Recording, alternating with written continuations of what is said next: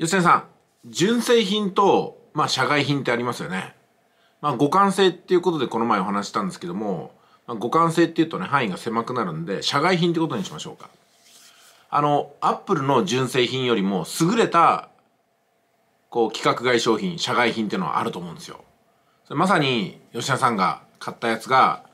アップル以上にアップルユーザーが欲しがってる製品を作る、こだわり抜いたアップルマニアの会社なのかなと思うんですよ。で、こういった例ってね、実はね、このパソコン関連部品じゃなくて昔からあったんだなっていうのが気がつきました。それが、車ですよね。あの、私今、セルシオがフルスポイラーなんですけども、完全社外品じゃないですか、こんなの。でも、セルシオのそのデザインにぴったり合ったやつとか、ホイールとかもね、バルドっていうのがあったりとか、BBS っていうのがあったり、もう完全に社外品なんだけども、セルシオ買ったらこれつけないとね、みたいなね。セダンだったらこれつけないと、みたいな。スポーツカーならこれつけないとみたいなのがあると思うんですよ。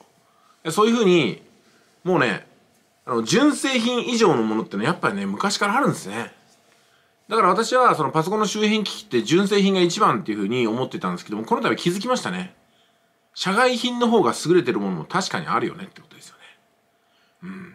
まあこういうふうな見方ができるのも億万長者合宿の、まあ、なせる技なのかなと思いますね。それじゃあいってらっしゃい。